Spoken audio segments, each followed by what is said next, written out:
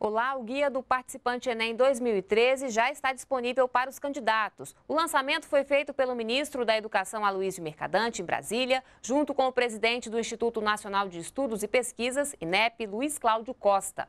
Reveja agora a entrevista coletiva. Então, nós estamos divulgando hoje o, o guia do participante para as redações 2013. Então, quais são os objetivos do guia? Primeiro, desenvolver um material com orientações sobre a redação para o participante. Depois, apresentar detalhadamente os critérios utilizados para a correção das redações, para que ele saiba exatamente o que, se espera da redação e como é que será feita a correção. E apresentar alguns exemplos de redações que receberam nota máxima em 2012, que ele sabe também o que é o padrão que se espera de uma excelente redação. Então, o primeira, a parte 1 um do, do conteúdo do guia é, é o tipo textual, como serão avaliadas as redações e o esclarecimento das principais dúvidas quanto à redação. Então, quais são as principais dúvidas que aparecem, que eles estão sempre perguntando? Qual é o mínimo de linhas? Sete. O mínimo é sete.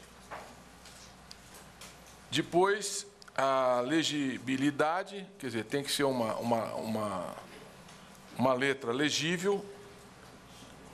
O título é opcional, ele não é obrigado a colocar o título, ele coloca se quiser, se ele acha que agrega. E o acordo ortográfico, também está bem explicado no guia, é, ele pode usar as duas opções. O novo acordo ortográfico e o, porque ainda não é uma exigência obrigatória, ou o padrão atual.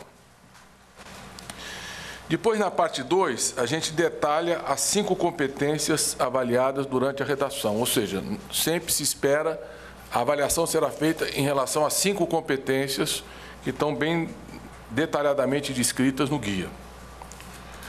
E os critérios de correção que vão orientar é, naquela condição que nós já falamos para vocês, que se a discrepância em cada uma das competências for acima de 100 pontos, vai para um terceiro corretor independente. São dois corretores independentes, mais de 100 pontos em qualquer uma das competências, vai para o terceiro corretor. É... Depois, a parte 3 do guia é uma análise da proposta de redação do Enem 2012. Então, o que era a proposta e o que se esperava do desenvolvimento daquele tema. É, e depois algumas recomendações para que o estudante possa compreender bem a proposta que está sendo apresentada de tema para a redação. Na parte 4, nós colocamos cinco exemplos de redações nota 1000 e alguns comentários sobre essas correções e essas redações, porque que elas tiveram uma excelente avaliação. Bom, além disso, nós instituímos uma comissão de especialistas, de doutores e pós-doutores, para a redação do Enem, todos com notório saber em avaliação textual, e que estão nos ajudando com estudos e pesquisas e a matriz de correção. Estão participando, inclusive, da formação dos corretores e todo o treinamento que está sendo feito. Eles vão trabalhar com os supervisores, com os corretores, é, temos feito mesa redonda, artigos, videoaulas, tudo para aprimorar o máximo possível a nossa capacidade de fazer uma boa correção. Além disso, nós aumentamos a capacitação à distância e presencial dos envolvidos. Eram 108 horas, esse ano são 136 horas. E fizemos uma revisão e um ajuste pedagógico da matriz de correção. É, nós também aumentamos a remuneração dos corretores, foi feita uma pesquisa pela FGV, passamos de R$ 1,90 por prova para R$ 3,00 por redação.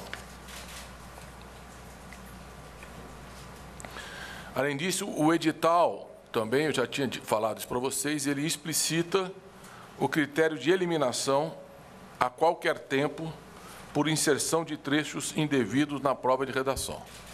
Então, em qualquer momento, a, a, a, aquela redação ela é eliminada, ela tem nota zero, se houver é, inclusão de trechos indevidos.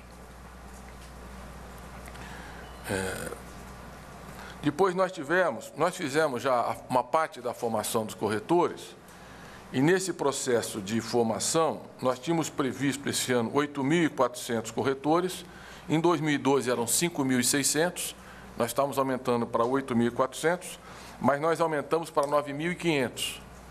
Por quê? Porque nós verificamos que a discrepância de 100 pontos, nós reduzimos de 200 para 100 pontos em cada uma das competências, levou que 52% das redações fossem de ofício para o terceiro corretor. Ou seja, mais da metade das redações vão diretamente para um terceiro corretor quando você reduz a discrepância para 100 pontos. Está claro, não? Era 200 pontos cada... Quer dizer, se a nota entre os dois corretores independentes fosse... A diferença entre a nota fosse maior que 200 pontos, ia para o corretor independente. Agora, em cada uma das competências, se a discrepância for maior que 100 pontos, vai para um corretor independente. 52% das redações vão de ofício para o corretor independente. Então, como nós fizemos alguns testes já no processo de formação, nós ampliamos os corretores para poder ter capacidade operacional e conseguir cumprir os prazos pelo, pela escala do nosso exame. Bom, é, depois, nas, nós selecionamos algumas redações que vão estar lá no guia. Vou dar um exemplo aqui, por exemplo, essa primeira redação. A palavra espanhóis é acentuada as duas vezes que ele, a imigração no Brasil, que ele, que ele a menciona, e na terceira não. E tirou nota máxima, ou seja, é um, é um, um, um erro marginal, ele mostra o domínio da, da, da norma culta, ele sabe que tem que ser acentuada e teve aqui uma menção, é, escreveu de forma diferente a mesma palavra, mas não prejudicou a qualidade dos argumentos, da, da fundamentação. Oi? Não tem repetibilidade. É. A outra não tem nenhum erro ortográfico e, e nós estamos usando também como padrão. Bom, o guia está disponível nesses endereços, tá? Enem, INEP, é, são os sites, tá? Hein? Não, no final a gente mostra. Eles, aqui só tem profissional de site do Enem. Então não tem. A gente pode ir direto tocar porque tem mais coisa para falar para vocês. Bom, a outra coisa que eu queria chamar a atenção são os casos é, especiais que nós estamos acompanhando. Nós temos, para o mês de outubro, 3.108 grávidas. É, porque aquele, aquele, o exemplo da Pamela, aquela jovem que, que, que teve o filho no dia da prova, nós agora estamos checando, a gente liga para saber das grávidas, quem é que tem expectativa de parição para outubro. Não só nós temos 3.108, como 517 exatamente em torno da data do Enem. Então nós precisamos colocar um suporte para a eventualidade de ter que fazer um novo parto ou pelo menos ter uma estrutura capaz de chegar a mais tempo. E nesse caso, se precisar, nós vamos recorrer aos mais médicos também, porque o volume da escala aqui está meio pesado, são 517, quer dizer, a 3.108 aqui estão dentro, dentro do radar. Agora, essas 517 estão exatamente entre o dia 20 e 31. E, e nós temos. São, e é incrível porque são 6.078 gestantes que nós temos, e metade vai parir em outubro. É exatamente no, no, mês. Então, nós estamos aí também uma atenção especial às gestantes esse ano, pela experiência do ano passado. Depois, nós temos casos muito, muito diferenciados. É, eu vou mencionar dois, para vocês verem o tipo de resposta. São muitos e muitos e muitos. Selecionamos dois que chamaram muita atenção. Um é um rapaz que tinha se inscrito sem pedir atenção especial e, em seguida, ele teve a mão amputada depois de ter feito a inscrição e solicitou, portanto, um transcritor para poder fazer a prova e foi acolhida pela comissão. Então, tem uma comissão que analisa esses casos excepcionais. O outro também quanto, por que, que era importante ligar? Porque ele colocou que tinha problema de, de mobilidade, paralisia cerebral, mas não especificou. E no caso específico desse jovem, é, ele tem muito poucos movimentos e toda a digitação que ele faz é com o pé. Ele tem que fazer a prova deitada, ele só escreve com o pé. Então você tem que montar uma estrutura capaz de absorver é, essa situação. Né? Então nós estamos, esses casos todos, nós estamos buscando atender cada uma das demandas específicas. Nós temos, por exemplo, 14 surdos e cegos, que tem toda uma, uma especificidade. Alguns, por exemplo, utilizam os olhos para poder é, um computador especial e, e eles é, se comunicam através dos olhos. Então, há muitas situações específicas. Eu vou dar um quadro para vocês verem o tamanho da diversidade. Nós temos mais de 70 mil casos específicos sendo equacionados pela estrutura logística do Enem, que merece uma atenção, um atendimento especial. São mais de 70 mil casos. Então, baixa visão. É uma sala individual, um chefe de sala e dois ledores.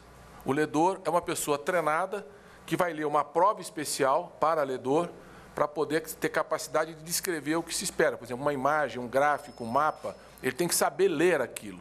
Não é simplesmente pegar uma prova comum e ler. Então, essa, essa, essa prova ela é codificada para permitir essa leitura especial e facilitar a compreensão de quem tem baixa visão. Então, é uma sala especial que precisa de dois ledores pela extensão da prova. É, depois, tem baixa visão, que precisa de prova ampliada. Então, nós podemos, nesse caso, colocar até 12 participantes na sala, um aplicador convencional. As mesas têm que ser mesas especiais para poder, porque é uma prova que tem um tamanho macrotípico é 18, é então a prova é muito ampliada, precisa mais espaço para ele poder manusear a prova, mas é uma prova convencional ampliada. Depois, nós temos a cegueira, que a, a, a leitura é feita com o braille, mas o braille, ao longo da prova, vai perdendo capacidade de leitura, então tem o braille, tem o, reforço do ledor. Tem a prova em braille e tem a prova em ledor. Se ele precisar, ele recorre ao ledor. São dois, duas provas de ledor e uma prova de braille. É, depois, nós temos surdez ou deficiência auditiva somente com tradutor e intérprete em Libras. Então, nós podemos ter até oito participantes porque eu vi também algumas notícias que não, não vai ter Libra, assim. Tem dois tradutores intérprete em Libra, um chefe de sala, e são três provas comuns da mesma cor, sendo dois para o uso do intérprete. Então, nós temos aí os intérpretes em Libras quando há surdez ou deficiência auditiva. É... Depois tem surdez ou deficiência auditiva que precisa de leitura labial. Então, aí são dois aplicadores tradutores intérprete para leitura labial, um chefe de sala então, são três provas comuns e duas para o intérprete. Depois tem surdo-cegueira, que eu mencionei para vocês. Então, são dois, é, é um guia intérprete braille. Tem dois guias intérprete e é, precisa da prova em braille, um, dois ledores e outros materiais conforme a especificidade do caso. Porque é, o contato com o surdo cego ele é muito específico, às vezes é feito no braço da pessoa, o código, para ele poder compreender e, e, e conversar. Então, tem aí demandas específicas aí para a gente atender esses casos que são bem limites. Depois, nós temos deficiente físico com ledor e transcritor. Então, é, um participante, dois ledores transcritores e um chefe de sala. Neste caso, o autismo, ledor e transcritor, é a mesma condição, mas é uma, uma especificidade. A dislexia também, ledor e transcritor, para ajudar no caso da dislexia. Déficit de atenção, às vezes é necessário ledor e transcritor. E o idoso também, às vezes, tem dificuldade de, de, de, de leitura. Então, nós colocamos o leitor, e de redação, colocamos ledor e transcritor. Estou mostrando esses casos, vocês imaginam, são mais de 70 mil casos, e com uma complexidade, uma diversidade muito grande, cada um é, nós ligamos para todos, entramos em contato com todos, não conseguimos ter o contato direto com todos, mas com a ampla maioria, e, e isso tem permitido a gente ir ajustando os apoios necessários para a realização do Enem. Então, para dar um quadro geral, para mostrar a complexidade da, da prova, é isto. E eu estou aberto aí se vocês têm alguma questão em relação ao Enem.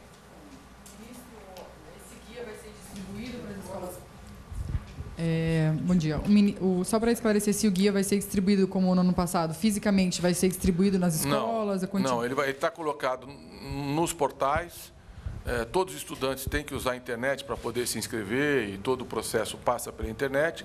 As escolas públicas urbanas todas têm os seus respectivos portais e nós estamos avisando todas as secretarias estaduais para que avise toda a rede de ensino é, médio e dê o suporte necessário. Nem os professores, né? Sempre na internet. Sempre nesses dois portais. Portanto, se vocês puderem dar destaque ao endereço do portal na matéria, ajuda a gente a divulgar. Tem que acessar o portal. Nós não temos capacidade de, de distribuir 7 milhões e 200 mil guias. Ministro, eu queria saber daquela parte logística de distribuição do material, de distribuição ah, tá. da prova. E queria também que o professor Luiz Cláudio falasse sobre esse prédio novo do INEP, essa estrutura de segurança maior que vocês querem fazer lá, com falar, um andar né? inteiro, com, com segurança máxima, vamos dizer assim, até com scanner humano. Como é que vai ser isso? A partir de quando? É, pela complexidade dos exames que o INEP faz, e especificamente o Enem, né, é, evidentemente que hoje nós temos salas seguras, mas desde que o ministro entrou, ele pediu que nós fortalecêssemos algumas coisas. Uma delas, evidentemente, a elaboração de itens com todo cuidado, com todo zelo. Nós estamos muito confortáveis hoje com os itens, mas esses itens, eles demandam toda essa análise no local. Então, você tem que ter salas extremamente seguras, e nós temos três níveis de segurança. Né? Tem um nível máximo, é quando você tem avaliação pedagógica da prova.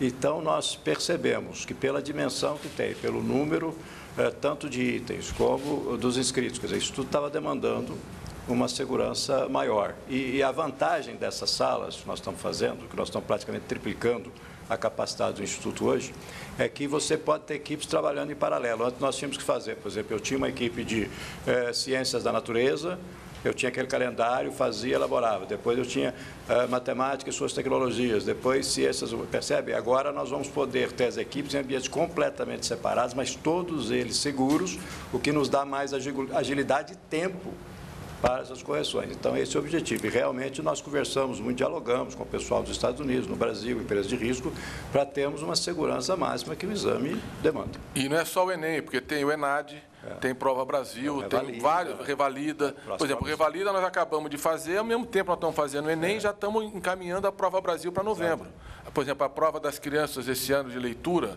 e redação, é, vai ser em novembro. E tem o ENAD em paralelo acontecendo. Então, tudo isso exige banco de dados, exige comissões pedagógicas que estão trabalhando, fazendo prova, discutindo, e você tem que ter a gestão e o controle rigoroso, filmagem, acesso, saber se a pessoa não entrou, por exemplo, com o celular na sala, e tudo isso. Então, essa, essa estrutura vai nos dar a, a segurança e a capacidade, a agilidade para a gente poder fazer com segurança todas essas avaliações que o INEP tem responsabilidade.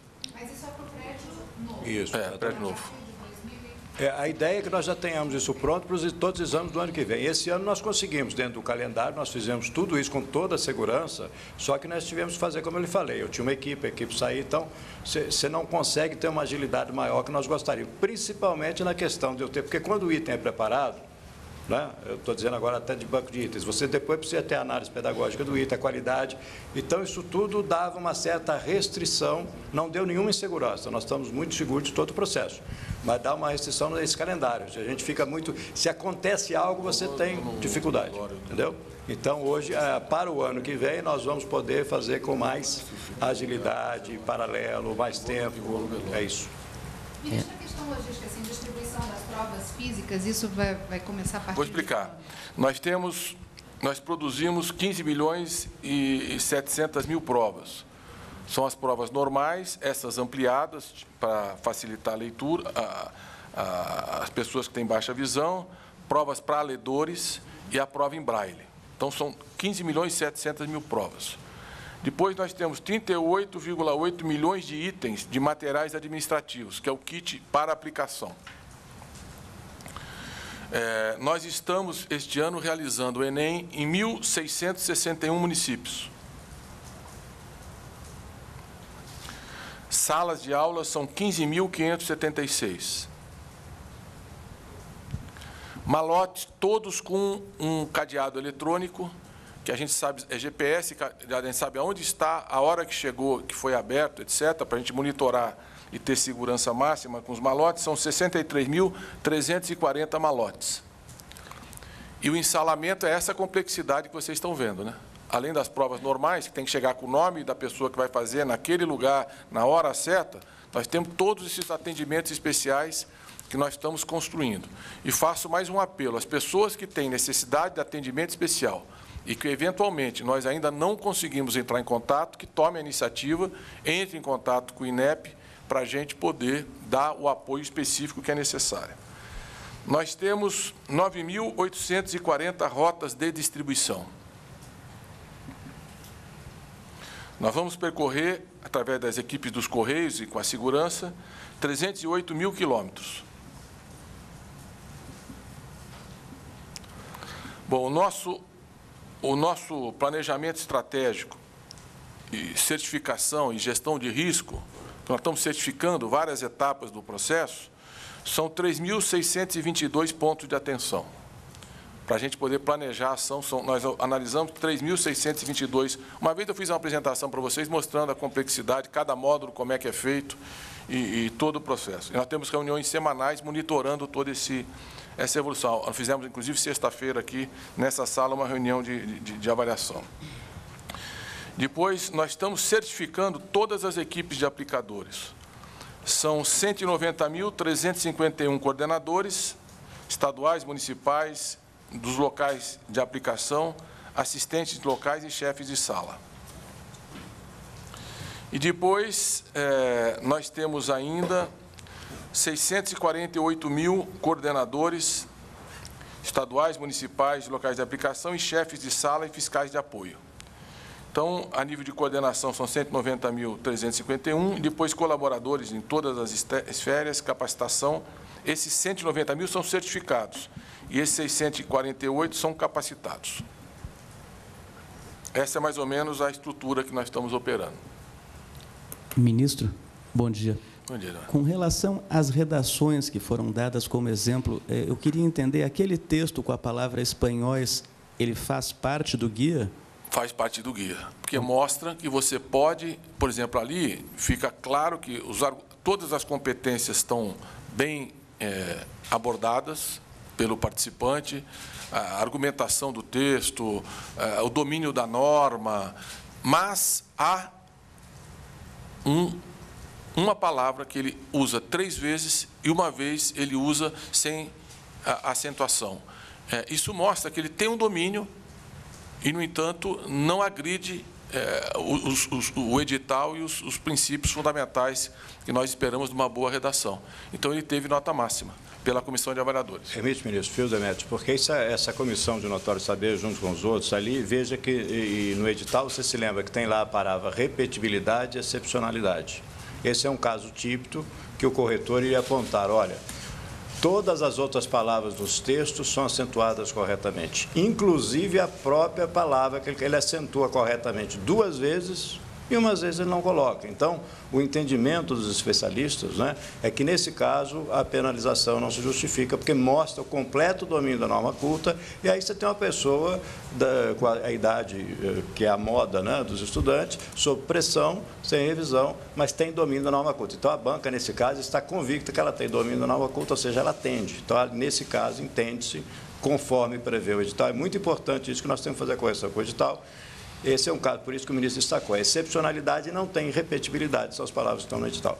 E, e por que, que o Ministério da Educação está colocando como exemplo de redação para os alunos deste ano uma redação que contém, ainda que mínimo, um erro? Não, porque é, seria simples nós colocarmos, e tem muitas que não tem nenhum erro, mas o edital diz e os especialistas todos que nos acompanham defendem, e vocês viram o debate público e defenderam publicamente e com argumentações pedagógicas, que um jovem que está fazendo o Enem, ele está num processo de domínio pleno eh, da norma culta. E que você tem que considerar as cinco competências que dão é, a qualidade da redação que ele está desenvolvendo. E, e, portanto, quando houver um erro excepcional, específico, e no caso ali, ele repete a palavra corretamente, e numa terceira menção, ele esquece a acentuação, ele demonstra no conjunto do texto o domínio da norma e, portanto, ele tem, por todas as outras características das redações, a condição de manter a nota máxima. E outra coisa, né, até fins pedagógicos, aquilo chama até a atenção do estudante para que ele não cometa aquilo, para ele faça a sua revisão. Ou seja, olha aqui nesse caso, nós temos que lembrar que o, guia tem fins pedagógicos. Então, o estudante em casa ele vai ver, olha, realmente eu tenho que ficar mais atento, porque eu duas, não posso errar a terceira. É isso. Então, o fim é pedagógico. E ali é um caso limite, é caso, porque ele podia ter perdido o ponto. Exatamente. Dependendo do que for o erro, ele pode perder o ponto. O edital agora é mais rigoroso do que era o ano passado, inclusive em relação a essa questão da nota máxima. Em todos os sentidos, tanto a inserção indevida quanto a nota máxima, o edital é mais rigoroso. Fica... E a correção será mais rigorosa. Mas, ministro, isso fica claro para o aluno, então, que se ele cometer um erro de acentuação, ele ainda assim pode tirar a nota máxima? Não, não, senhor. Isso não está dito na, nem, no, nem no guia e nem no exemplo. Ali ele não, ele não cometeu um erro de acentuação. Ele repetiu a palavra duas vezes corretamente, na terceira ele não acentuou. Portanto, é uma situação limite. Agora, se ele, se ele é, é, tiver a grafia errada de uma palavra, ele pode sim perder a nota máxima. E pode perder ponto, tantas vezes quantos forem os erros que ele cometer. Portanto, rigor, cuidado, atenção, porque a banca será rigorosa na avaliação. É a mesma questão da inserção indevida que nós tivemos no Enem passado, é, perdia praticamente metade da prova e agora ele pode tirar zero. Né? Ele, ele, ele perde a prova de redação a, a, punição será mais severa em relação às inserções indevidas. Principalmente quando você configura uma inserção deliberadamente é, provocativa, ou um deboche, ou um questionamento, do, do, do, o que quer que seja, e que não, não cabe no, no conjunto do texto. Olá, ministro. É, e o período de entrega do cartão de inscrição? Como é que está isso? Já está definido? Oi? Período de entrega do cartão de inscrição já está Final definido? de setembro, começo de outubro, eles receberão o cartão de inscrição. E quem não receber, o que é que faz? Entre em contato com o INEP 0800 ou pela internet e imediatamente será providenciado. Mas pelo detalhe que a gente planeja, dificilmente isso acontecerá. O que pode acontecer é que ele mudou de endereço, alguma coisa, ele tem que nos informar. Né? E, e, não há, e não há problema, porque sempre tem a segunda via. Mais alguma? Mais, gente. Chama atenção para cuidar com a senha. Ah, outra coisa também, pra, pedi que se vocês pudessem colocar, que é muito importante que o participante é, é, mantenha o controle da senha dele. Porque a senha dele é fundamental para o contato que ele estabelece com o INEP. Então, que ele registre, porque muitas vezes eles esquecem a senha. Não passar para ninguém. É, e, e, é, e também não, não deixar que ninguém tenha acesso. Ele tem que cuidar com o mesmo rigor que ele cuida da senha do cartão de crédito. É, por último, nós vamos repetir isso muitas vezes daqui até lá, mas eu quero lembrar de novo. Assim que tiver definido, ele vai receber o cartão e tem o local onde ele vai fazer a prova, ele tem que visitar antes o local, ele tem que conhecer o caminho, ele tem que sair com tempo de antecedência, que se tiver algum incidente, como aconteceu no último Enem, um carro bateu, uma, uma, uma, barreira, alguma dificuldade, ele consiga chegar a tempo, porque não tem tolerância se chegar depois. A coisa mais triste é a gente ver um jovem que estudou, que se preparou, que chega depois da abertura, eh, os portões fecharam, chorando na porta porque não entrou. Nós não queremos essa cena. Então, se a gente planeja com tanto cuidado, eles têm que planejar a prova que eles vão fazer. Então, a outra coisa, o horário é o horário de Brasília. Existe fuso horário no Brasil. Não é o horário local, é o horário de Brasília, que vale para todo o território nacional. Então, é, são algumas questões que se repetem. Outra coisa, não brinquem com o celular na sala de aula, porque nós tiramos 64 pessoas no último Enem. E nós vamos monitorar. Quer dizer, é proibido entrar com o celular, tirar a imagem, é, e deixa a rede social para depois que você terminou o exame. Aí você faz o que você quiser na rede social. Mas no exame, entrou, nós vamos identificar e ele vai perder a prova como perdeu da última vez. É, vai perder um ano da vida dele, uma oportunidade. Porque eu quero lembrar vocês, ó, tem o SISU, né, e, metade, e 25% das vagas, no mínimo, serão para os estudantes da, da escola pública. Ele tem o FIES, um milhão de contratos já, ele tem o, o, o, o ProUni, nós já temos 1 milhão e 200 mil bolsas, e vai ter também agora o SISUTEC, que é o curso técnico. Nós ofertamos 240 mil vagas agora para esse segundo semestre. Nós vamos ter um número maior ainda de vagas de ensino técnico para o Enem deste ano. E, além disso, tem o Ciências Sem Fronteiras, que tem 43 mil estudantes hoje com bolsas no Ciências Sem Fronteiras. Então, ele tem uma, as melhores universidades do mundo. Ele tem uma gama muito importante de opções. Então, a seriedade, a dedicação, a responsabilidade é indispensável para o exame do Enem. Tá bom? Você acompanhou a reapresentação da entrevista coletiva com o ministro Aloysio Mercadante sobre o Guia do Participante Enem 2013. Para orientar os estudantes, o material traz, por exemplo, modelos de redações que tiveram nota máxima. O MEC ampliou o número de profissionais que vão fazer a correção dos textos. Serão 9.500 nesta edição do exame. Haverá também atendimento especial às grávidas e aos candidatos com deficiência. Continue com a gente aqui na NBR, a TV do Governo Federal.